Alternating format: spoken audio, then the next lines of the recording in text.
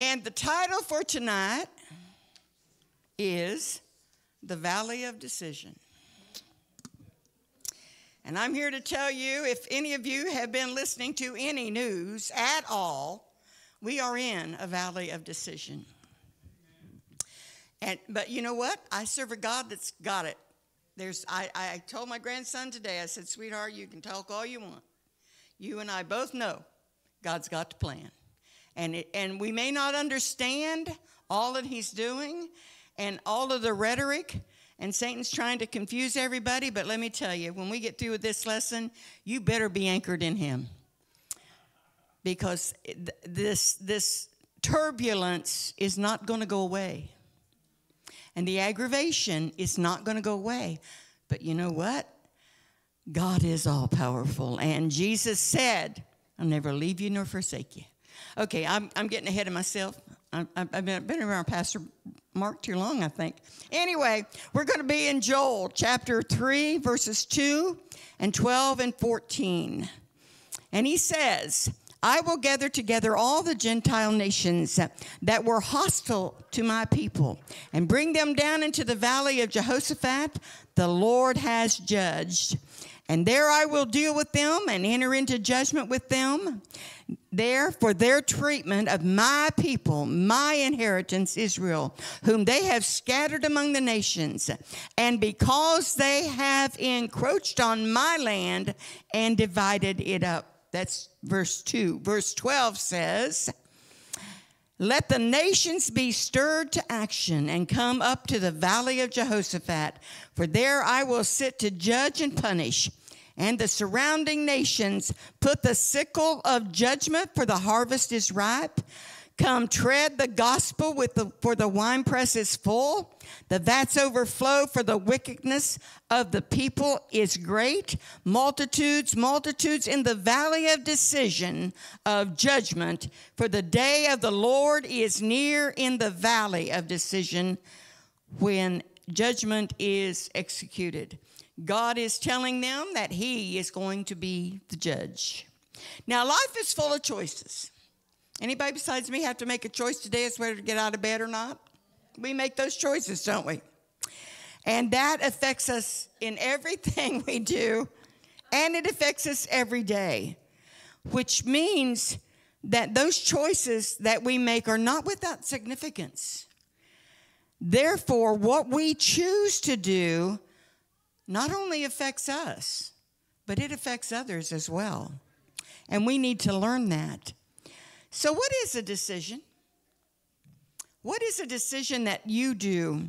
Well, it's really to settle or to determine or bring to resolution or resolve and to decide to make up one's mind.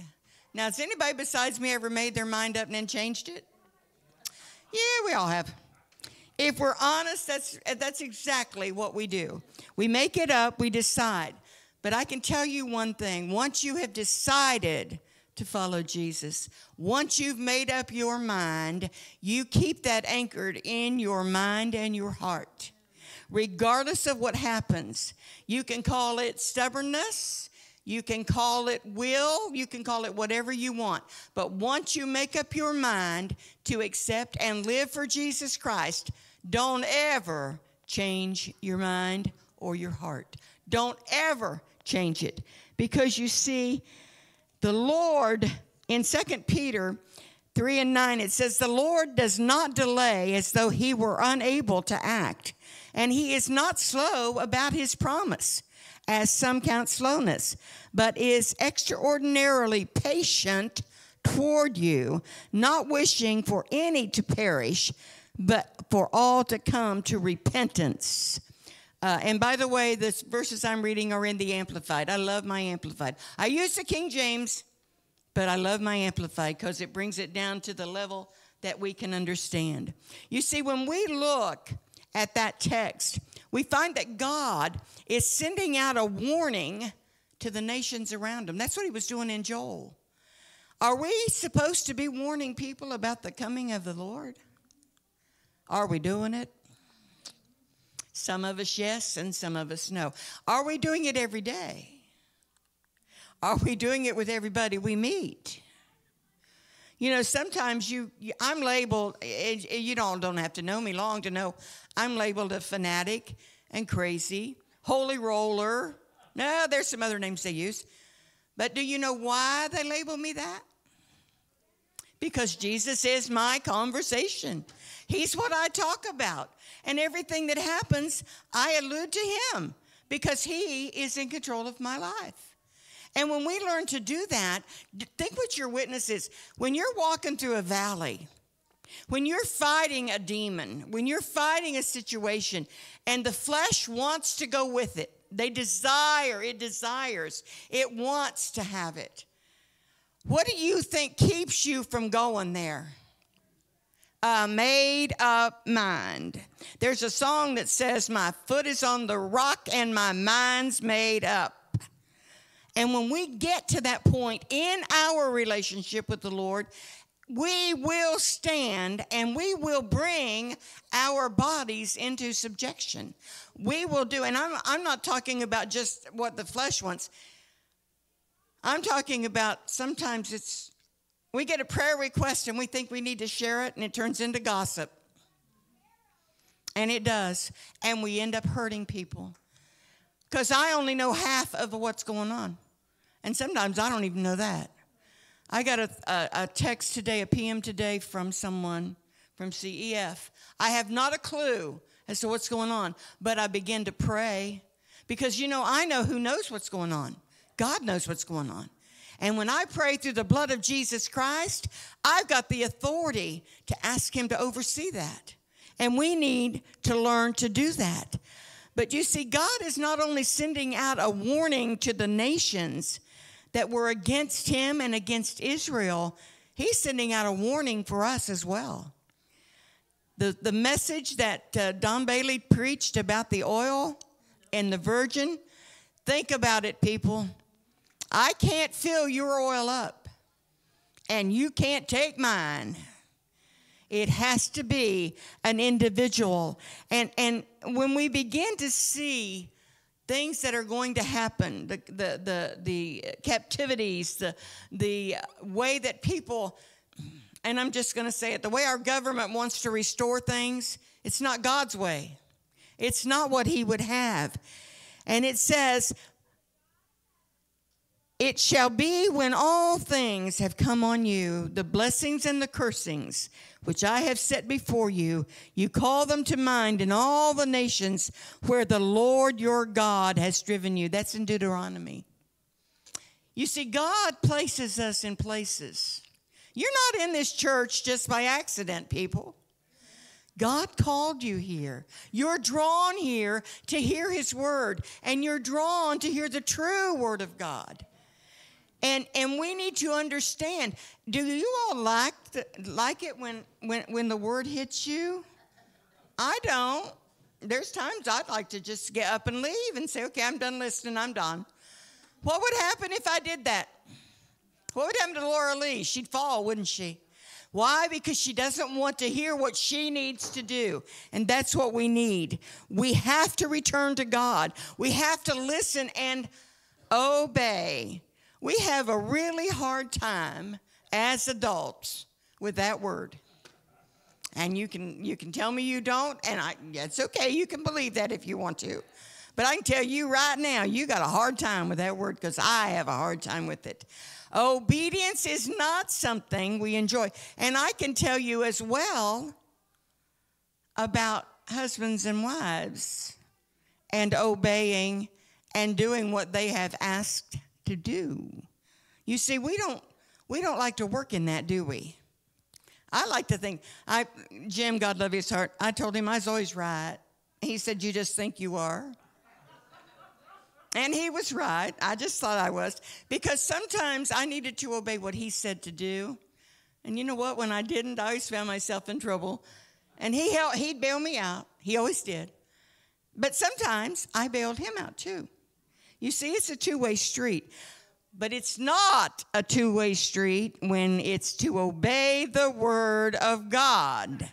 There is no two way street. It's God's way or no way. And that obedience has to come from your heart. We make up our minds sometimes and we get ourselves in situations. And if we just learned to listen, we wouldn't get in those situations. But I don't know about the rest of you. Mm. In this last 68 years that I've been serving the Lord, I, could, I can't tell you how many situations He's had to say, okay, now are you ready? You've made your mess. I've got to chastise you. But if you'll learn to obey me, I'm going to take you back. And that's called repentance, by the way. and you'll get used to it one of these days. But you see, we have in Proverbs 123, it says that we have turned you at my reproof. Repent, behold, I will pour out my spirit into you. His spirit was promised, and I will make known my words unto you, instructions that you will gain wisdom. How many of you have asked for wisdom? How many of you have been willing to receive God's wisdom? Uh huh. I agree, Mariah. I agree 100%. Or Miranda. It's Miranda. Well, whichever one you are, honey. We got too many of them in here, yeah. And, and like I said, this white hair is not just, just fake, trust me. But anyway, how many times have we done, done that and, and then said, okay, God, I know you've told me, but Lord, could we not just ease this by a little bit? Could I not just make this a little easier for me? And God said, That's not what I said. And you're going to pay a price. But, honey, go right ahead. You know, there's divine will and there's permissive will, and God will allow us to get ourselves in messes. And then He'll say, Okay, now what would you like for me to do? Because He says in Isaiah 118, Come now and let us reason. We're in this valley of decision. And He's saying, Let us reason together, saith the Lord. Though your sin be as scarlet, they shall be white as snow. Though they be red like crimson, they shall be white as wool. Think about it. You know, I would like to tell you that sin is something that you won't have to contend with, but that's a lie. As long as we've got breath in our body and we're on this earth, we're going to have to battle against sin. And and we're going to have to admit when we do it. But do we like to do that? You know, see, we're in that valley of decision. We're trying to decide, like the song said, what we want to do. Are we going to follow God? And and quite frankly, it's easy to follow him when somebody else is making the decisions. I didn't have any problem following God when I lived in daddy's house after 12 years of at 12 years of age accepting Christ, daddy was the ruler in our house. I didn't have any problem being good, mostly because if I wasn't, I got spanked. But the bottom line is, I didn't have any problem until that wonderful age of 18 hit. Uh huh. And then we leave daddy's house. And then our house becomes a place where God has to rule and it is not an easy transition.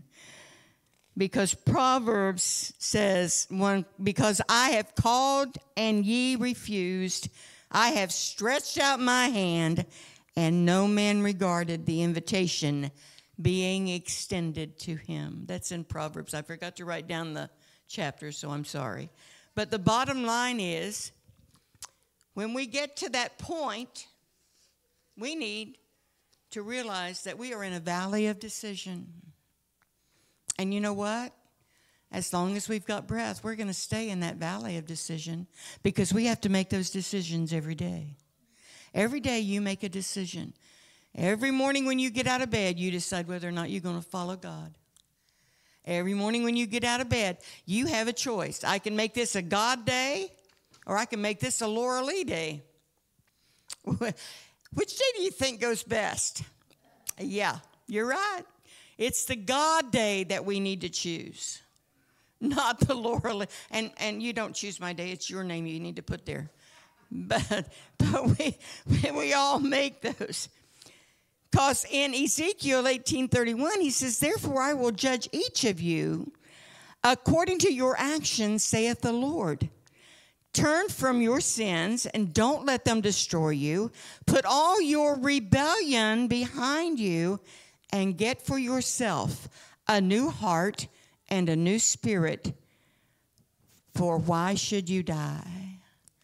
That death that it's talking about is a spiritual death, not a physical death. And you see, he judges us, he knows.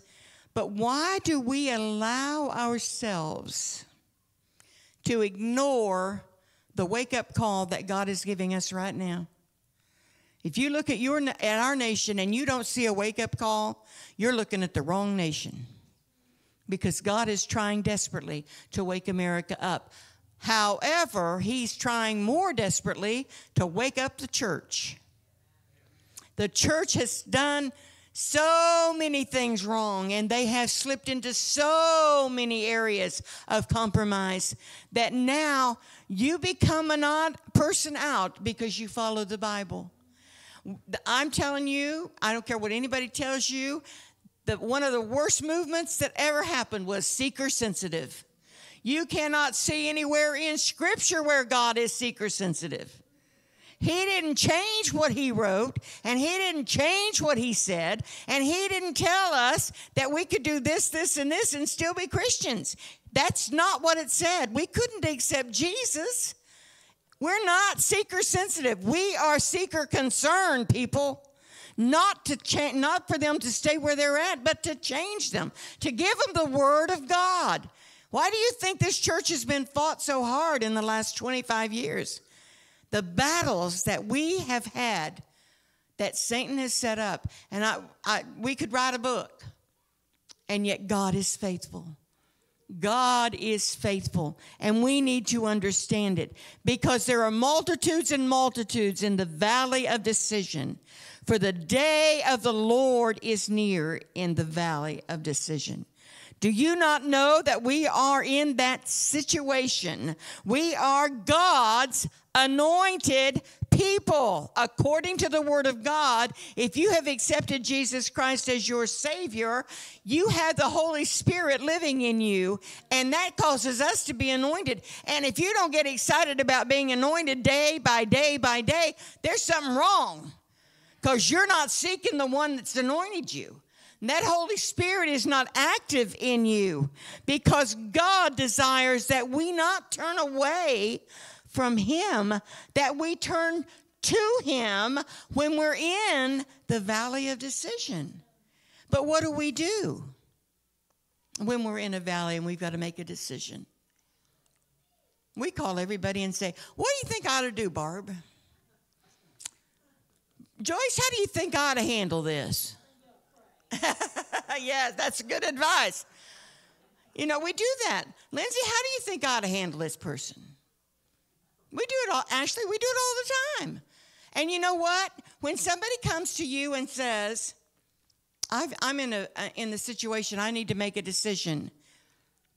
All you need to do is say, I'll pray for you.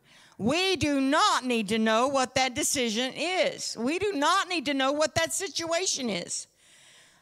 We, it's not up to us. We just simply pray. Like I told you, the, the, the text I got today, I have not a clue as to what's going on, but I know they need prayer. And I know a God that already knows they need prayer. God knows when you're in that valley. God knows when you need prayer. And you see, we we have we're at the end time harvest for the word of God. And God is calling the lost world to repentance, and he's calling the church back to him. No more playing around. No more just letting the emotion rule. No more just letting all of that happen. We need to get to where we are anchored in Him without emotion and without any situation.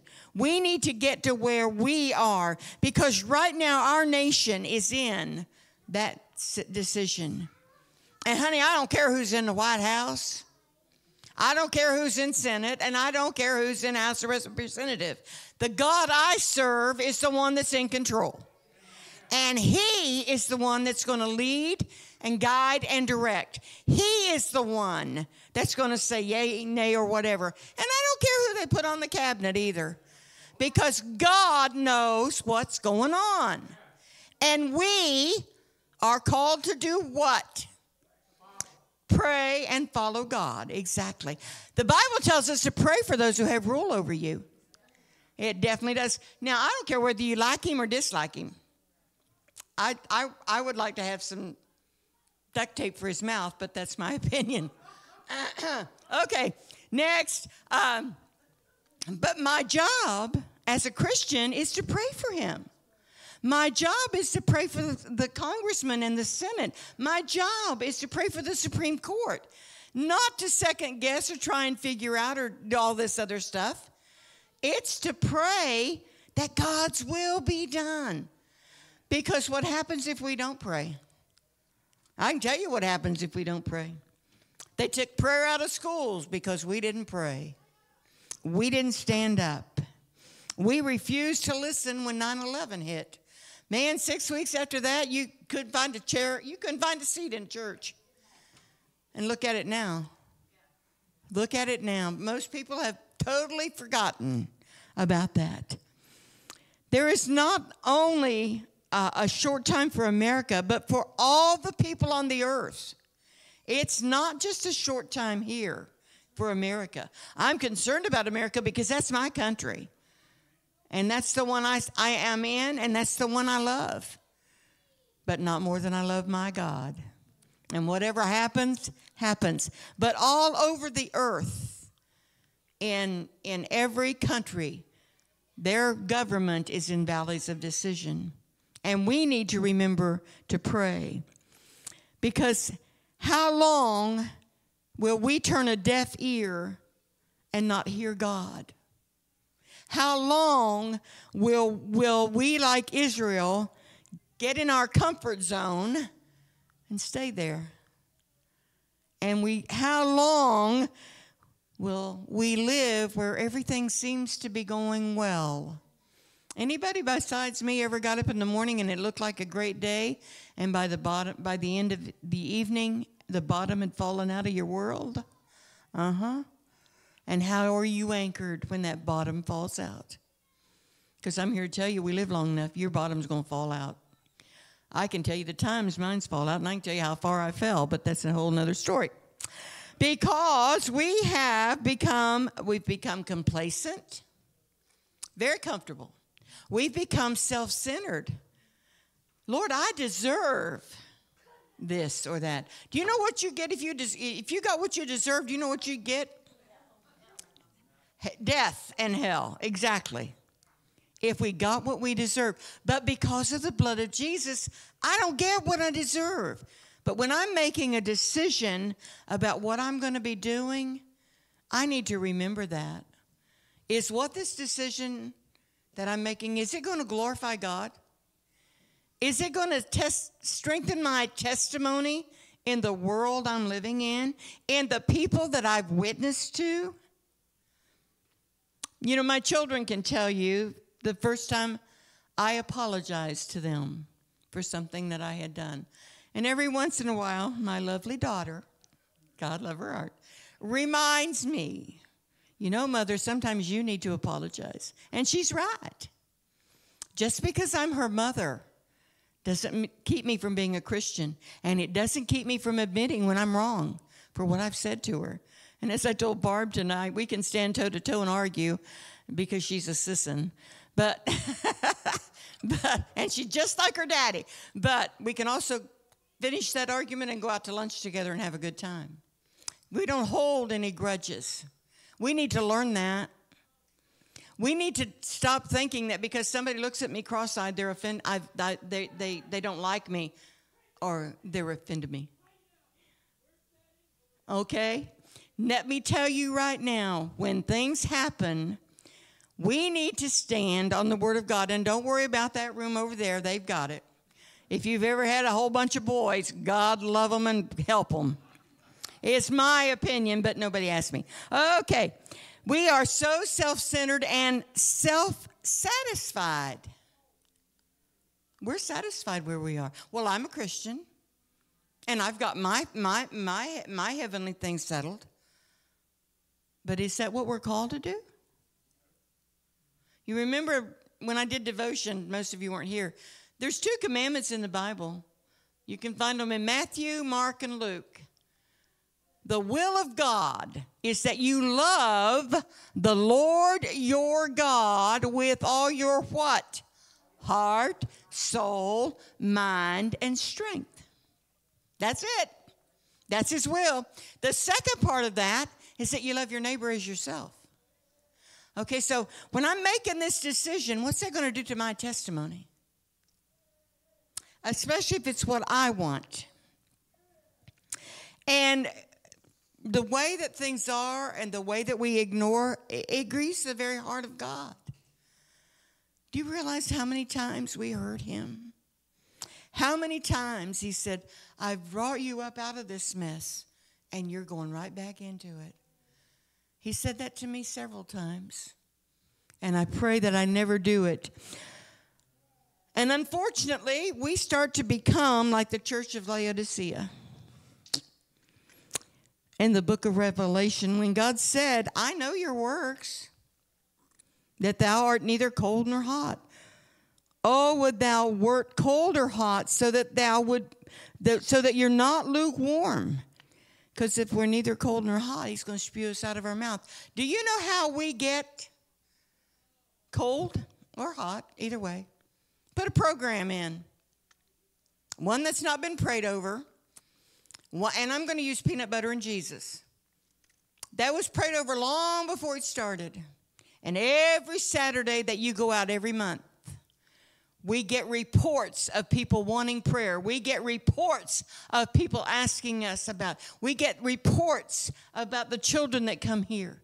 We get that report. That why? Because it's anointed of God. We can't just have a program.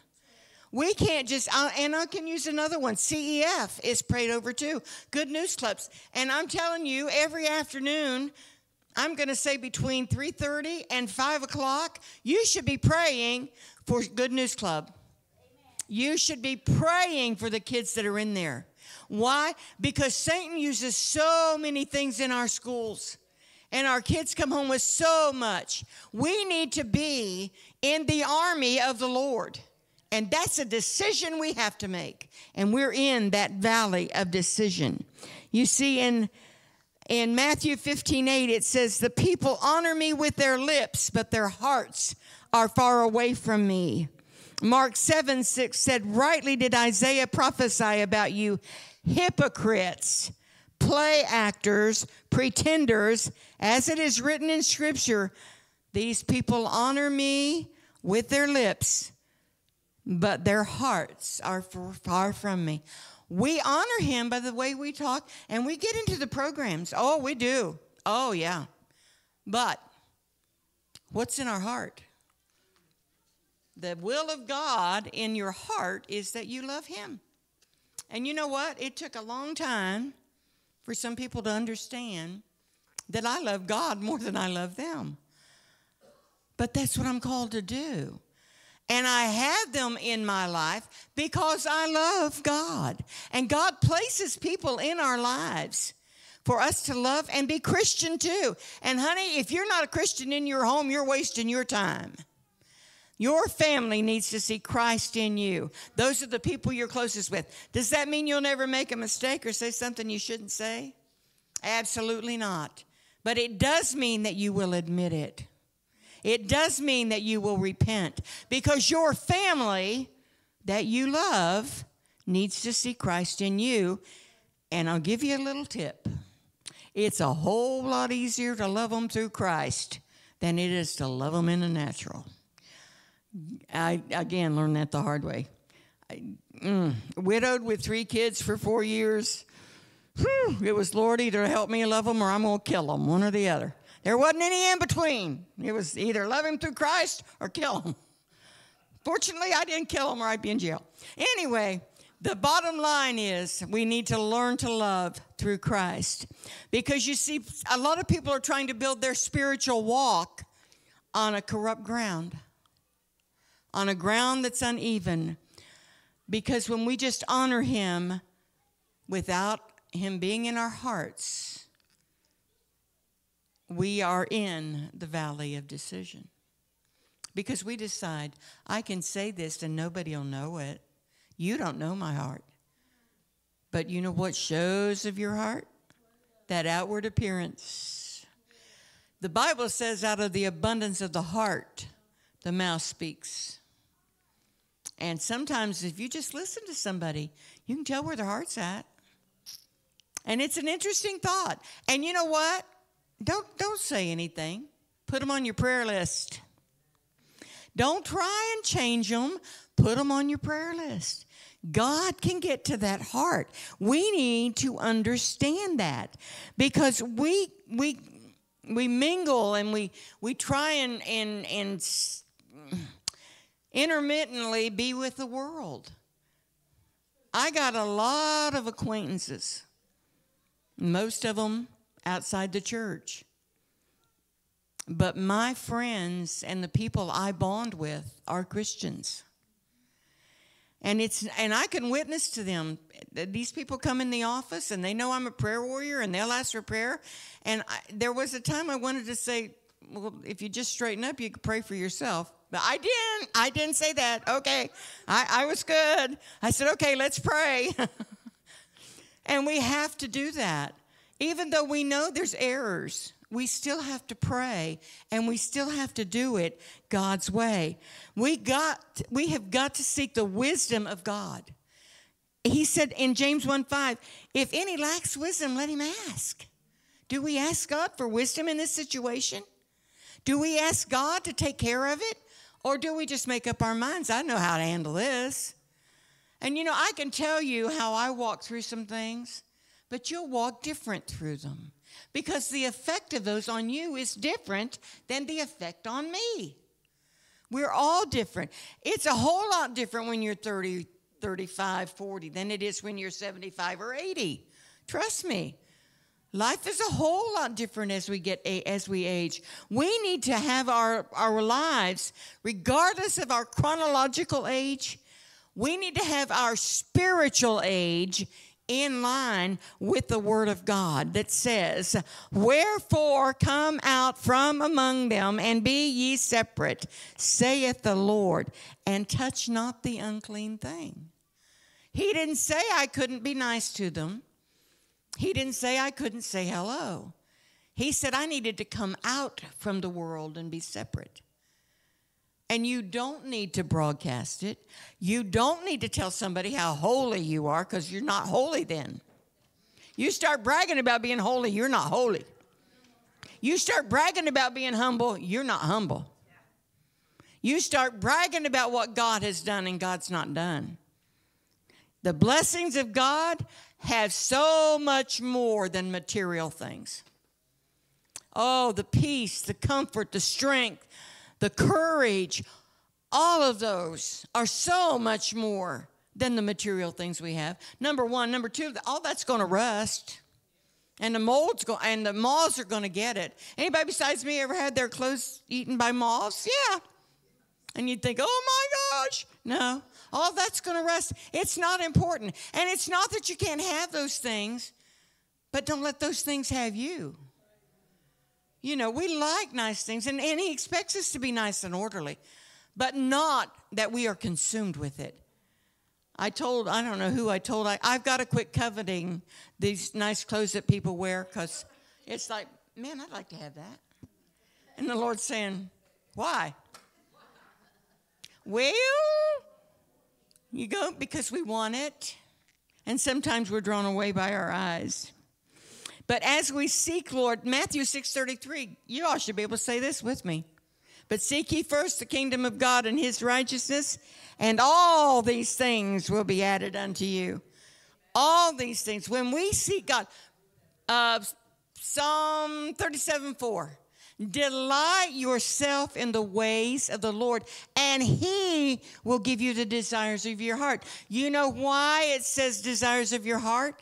Underline that delight yourself in the Lord. When you start delighting yourself in the Lord, you want what God wants in your life, not what you want in your life. And you want your flesh to be satisfied with His presence. Now, I have a, I went to the, I had the doctor's appointment today, and she looked at me and she said, I have a suggestion for you. I said, okay. She looked at me. She said, I can tell from looking at your your results, you like bread. Okay, I like bread. She said, Well, let me give you a tip. You need to stay away from bread because of your glucose. It wasn't real high, and she was very understanding. And she said, And I'll give you another tip. Oh, man. You like sweets. I said, Well, not all sweets. she said, Let me see if I can guess. You like cookies and donuts and cake, and you like candy. Not chocolate, I said. And she said, Lora Lea, there are so many other kinds than chocolate. You see, she could tell from the report of my, as you see my arm, my blood test. She knew what was going on. And she was giving me a tip. Let me tell you what God's word does for you. It does not give you a tip or a suggestion, it gives you a commandment. And when he says, touch not the unclean things, that's exactly what he means. When he says to come out and be a separate people, that is exactly what he means. And we need to learn that we need to obey that. Now, is it always comfortable to be separate? Mm-mm. We don't like it. But you see, God is looking for a remnant that will stand in God's timetable and realize that this is the time to be declaring the need for Jesus. If ever our country needed to hear that Jesus is, is what they need, it is today. It is now. And the question, the other question is, is your house in order? Is it ready? And I mean, really ready to meet the Lord? Have you said, like Joshua said, as for me and my house, we'll serve the Lord? You know, my house is just me, but I need to serve the Lord. As for me and my house, that needs to be my commandment. You know, sometimes we forget or we forsake what He's told us. But when he tells us that again, it's a commandment. And and to comfort you all, I'm on my on my I've got one page left. And then we can go. You you can quit listening. Okay. But you see, the Bible says when the earthly tabernacle of the house shall dissolve, we have another building that is eternal in heaven. I'm a citizen here, but my citizenship is in heaven and it needs to stay. And you know how it stays there? I keep my name on the book of life. I obey what God says to obey, to, for me to obey. We have to have a made up mind that I am going all the way with Jesus. Don't keep one foot in the church and one foot in the world. You'll be the most miserable person there is. Guilt will eat you up. Uh, yes. And we've all been tempted to do that. But the song we sang tonight about I have decided to follow Jesus, that's a decision you have to make. And if you need to sing that song every day, sing that song every day. Because there is no turning back. When you give Jesus up, you've lost the ark of safety. And how many people do you know that have left him and gotten themselves in messes? That ark of safety, I call it an umbrella because we've got the Word of God. We've got church, we've got praise, we've got worship, we've got blessings, but the whole thing is under an umbrella that is the ark of safety when we stay with God, when we stay where He wants. You know, I've been lied on but I've decided to follow Jesus. Let them lie. It's okay. You've heard me say this too. Truth and time always come together. And be sure your sin will find you out when you lie about it. You see, because Jesus is our rock. That's the rock that he was telling Peter, upon this rock I'll build my church. Our church is built on Jesus Christ and the foundation of him. That's the one that's built on. Then, the, then we say, though none go, none go with me, still I will follow. You know, the family won't go sometimes, but still I'm going to follow. Friends won't go, but I'm going to follow. And I've lost some friends. But were they really friends? Exactly. And you know what? When you lose that friend, Satan an, loses an instrument that he can use against you, people. Learn to recognize and discern in the spirit who Satan's using against you because this valley of decision is going to be continual until breath leaves this body. I am going to have to make decisions. The church won't always follow, and we, they, we've got that example today. You can go to any church you want to go to and tell you what you want to hear. You don't have to go far. Uh, when you come here, you're not going to hear what you want to hear. I'm sorry. We'll, we'll give you the word of God. And then the choice is yours. You get to make the decision. And let me tell you, if you serve, if you've been a Christian one day, you've been a Christian too long to turn back or go back out in the world. You've been a Christian too long to begin to wonder what God is doing. Don't let Satan aggravate the flesh man till he just gives up. Let your spirit man be your leader. Because until you've stayed up and stopped up and preached up and prayed up for the cause of Christ, you are weak. Until we do that every day. Every day we have to pray for it. Every day, I'm a disciple of Jesus. Do I look like a disciple that you see on TV? Uh, no. But I am a disciple of Jesus. Why? We're all disciples because we're following His word and we're living His way that He wants. And when He comes for His own, man, I want to be ready. I want to be ready to go. There are three things that I know as I'm closing that I lean on when I'm in my valley of decision and sometimes I forget all that's happened in my life, and then I remember to preach to myself. The first thing I know is that Jesus was with me and he has all power. He will never leave me. You can find that in Hebrews 13 5.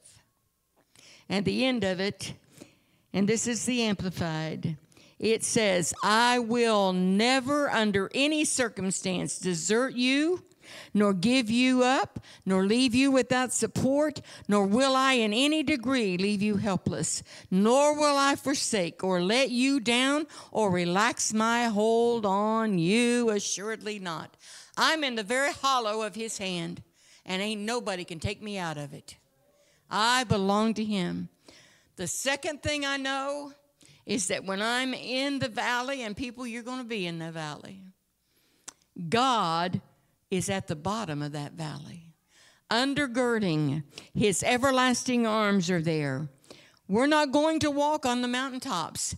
And you can read about this in Deuteronomy 33. When Moses couldn't go over into the promised land, and he was blessing the children of Israel, and he was talking about the mounts, you know, Mount Horeb, Mount Sinai, Mount all of them. In verse 33, he wrote these words The eternal God is your refuge and dwelling place, and underneath are the everlasting arms. He drove out the enemy from before you, and he has destroyed those that want to come against you. Think about it. When I'm in the valley and at my lowest, God's hands are under me. He's holding me. Think about that regardless. And Moses had disobeyed, but God was still there. God was still there.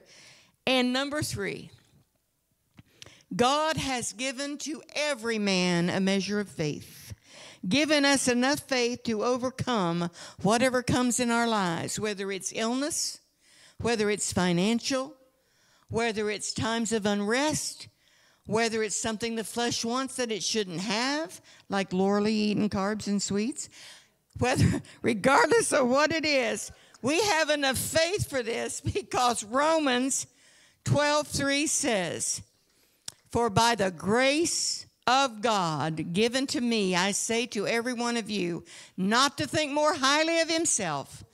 and of his importance and ability than he ought to think, but to think so as to have sound judgment, as God has apportioned to each degree of faith and purpose designed for the service to each Christian. Stand with me as we close. And the kids begin to run. Whew! Father God, we just thank you for this night. I pray, Lord, that this word finds a resting place in our hearts. Bring us back. Bring the men back tomorrow night. Bring us back on Sunday morning for Sunday school. And let us begin to worship you every day as we pray according to your word, your will, and your purpose. In Jesus' name, amen and amen. I told you I'd get done in time. They didn't believe me. Can you understand that? Bye, Nana.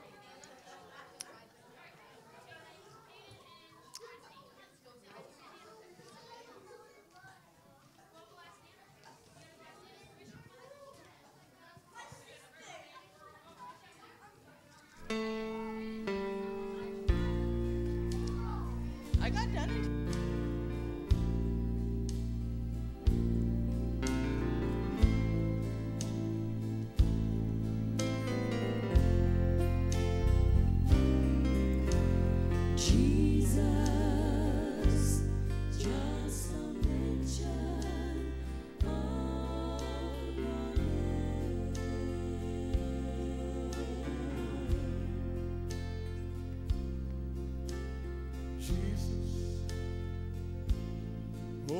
just a mention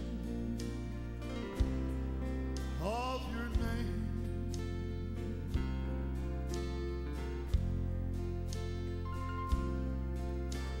Flowers grow, deserts bloom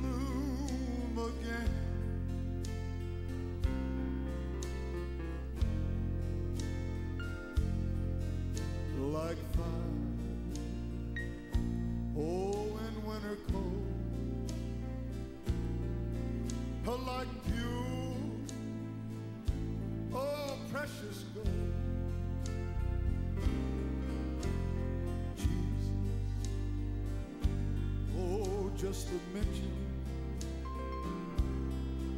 of your name.